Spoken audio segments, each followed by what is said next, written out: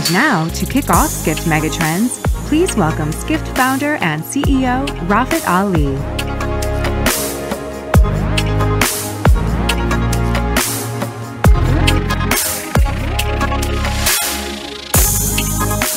I'm supposed to be here? Okay.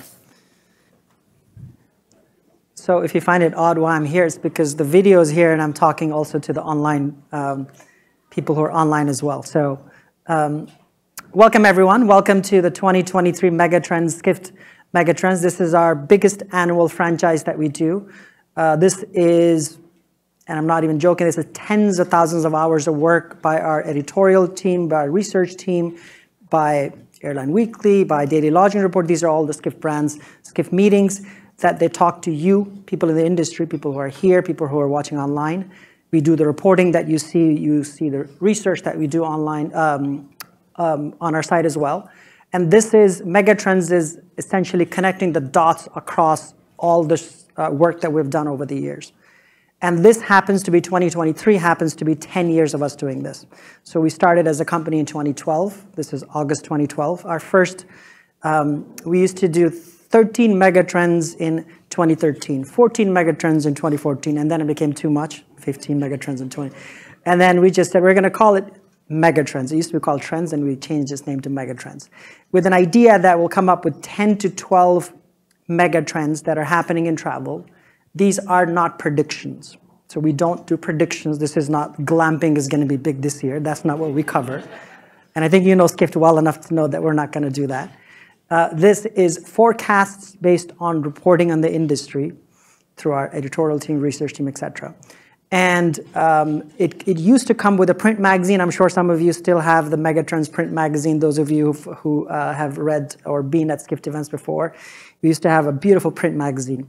But um, because of COVID, as well as uh, just being more responsible, we don't print the, the physical magazine anymore. Um, so in fact, the Skift Megatrends is, is live, I think, as of this second online um, on Skift. These are 2022 Megatrends.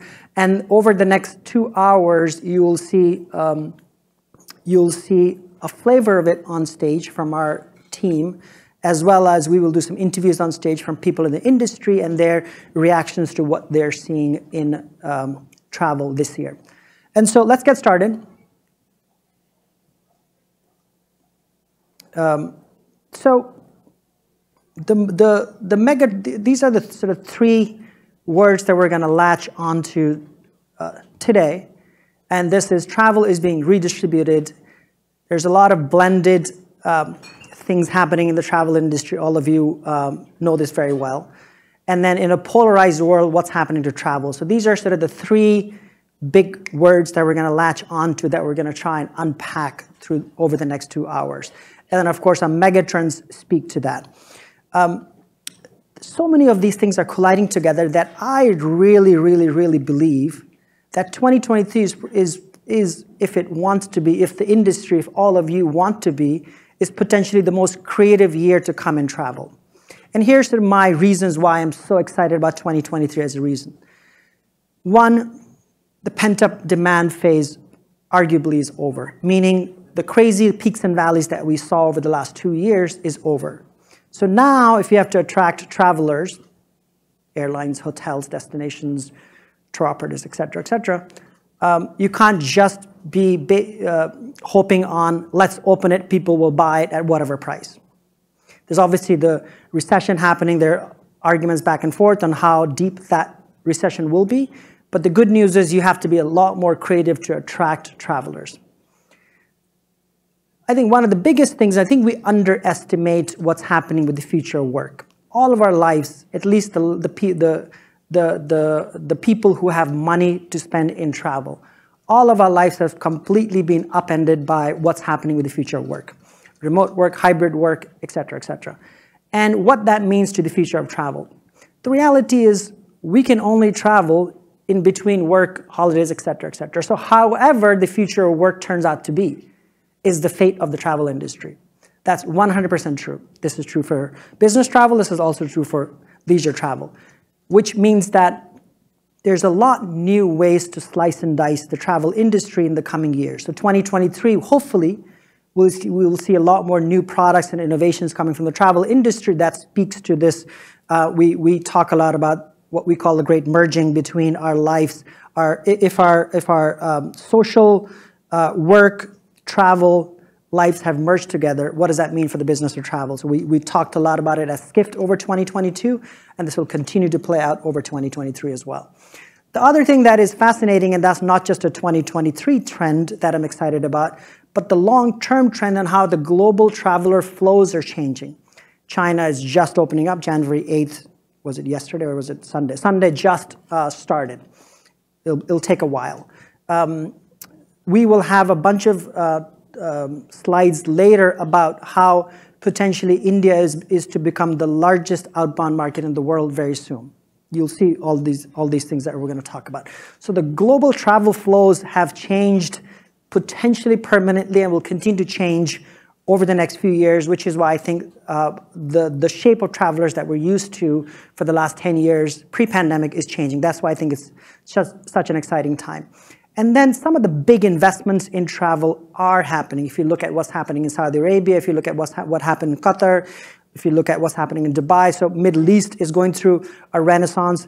A lot of the airport infrastructure potentially is improving in US, at least there's plans to. So there's a lot of new infrastructure coming in in travel around the world, which means that, again, new opportunities for the, the travel industry. And this, if you're anywhere near tech, you probably have heard million times, Jared, uh, on this generative AI. This is, uh, we talk about, a lot about it, I think like five times every day on LinkedIn these days. Uh, how many of you have um, played with this um, chat GPT tool? So many of you have played. And, uh, and you've seen uh, the early potential of AI in, in, um, with this. And we think it's, this year is going to just be an explosion. And this is not just us in travel, this is happening all around in the tech world. And this has a lot of potential to change so many things in the travel industry. If you've read Skift closely over the last month, you've probably seen us do a bunch of stories around what is the early potential for generative AI, which is a subset of AI that this um, chat GPT is a tool. If you haven't, it's going to be too long for me to explain what it is, so just Google it. Um, or I guess we shouldn't say that because Google is the one that they're going to compete against long term, but still Google it. Uh, and you can, uh, you can find out about it. Um, so these are some of the reasons why I'm personally excited and I think this could be the, the next creative renaissance in travel, starting with this year. So you will hear versions of this on stage as well as if you read um, the Skift Megatrends, you'll, you'll see that. Uh, so this is the agenda. Wow, this is too uh, small for you to read. But uh, we'll have a bunch of interviews. Our, um, next, we'll have a research presentation. We have interviews with people in the industry. Uh, we'll have some more presentations from the Skift team and other speakers from the industry as well and, uh, and that's it. So this is a very packed program over the next uh, two hours. There's no break. So if you, if you need to go to restrooms and stuff, you can go now or, or, or hold. Um, TMI. Um, so the Skift Talk, so Skift Megatrends has launched. If you uh, scan this QR code, you should be able to go to it, but it will be on the top of your newsletter tomorrow morning as well. This, this, this you probably know. This should be live. Um, Jason, I'm sure you're watching. Just make sure it's live now, so uh, so people people can download uh, if they go. Uh, and then I want to thank our sponsors. Obviously, we cannot do this without all the sponsors. Accor and Abu Dhabi and have been our sponsors for, for many, many years now. Um, I think they've been multi-year, five-year sponsors for our for our megatrends and Allianz partners. I want to thank them for that. Arda, which is our first-time sponsor. Jason, who's here somewhere. Jason, where are you? Jason is, is, uh, hiding behind the American Resort Developers Association, their um, first-time sponsors, so please go say hi to them so that they continue after this. Uh, get some good results, but they're doing some great work. Um, Flyer, which has also been a long-time sponsor, CrowdRiff, which we love, and Localhood is one of their products. You're gonna hear uh, them talk about uh, why vertical video is the future of travel marketing, and then Travel Bank, which is here, which was acquired by US Bank last year, but they're here as well, and they're doing a lot of great things. So thank you to all the sponsors. Um, I think for those of you who don't know, just as a quick overview of where we are as a company, this is our 11th year in existence. And um, I think you know us from Skift, Skift Pro, which is our subscription daily news, Skift Research, you know. Uh, some of you may not know that we bought these three different companies that are there in the middle, Airline Weekly, Daily Lodging Report, what used to be called EventMB that we rebranded Skift Meetings. Skift Meetings is our brand that focuses uh, at the meetings industry. And then obviously Skift Live, our creative studio. And then we recently launched a consulting business called Skift Advisory, which if you want to talk about it, talk to us. Um, if you want to save on our subscriptions, this is probably the most um, discount that we'll give in general. And so 25% if you want to scan, uh, you can scan here. Uh, coming in end of March in London, our Future of Lodging Forum. So we did our first Future of Lodging Forum here in New York last year, and which was a big success, and we're taking it to London, and so that's coming March 29th in London. So if any of you or your colleagues want to attend in London, uh, you can go to live.skift.com, and we'll love to see you there. This is a full-day event that's going to talk about primarily hospitality, but also short-term rentals and, and um, innovations around that. And uh, besides travel industry, we're also launching today uh, our meetings industry trends that are also launching at meetings.skift.com. If you scan this, you'll be able to see our trends that we're watching in 2023 in the meetings and events world. So uh, that's also launching today. We do uh, have time for Q&A for some of these um, sessions that we'll have. So if you, um, some of you may have the Slido app just because they um, are used a lot across the industry, but if you scan this, you can quickly, I think, go to the website. They will take you to the website, not the app itself, right?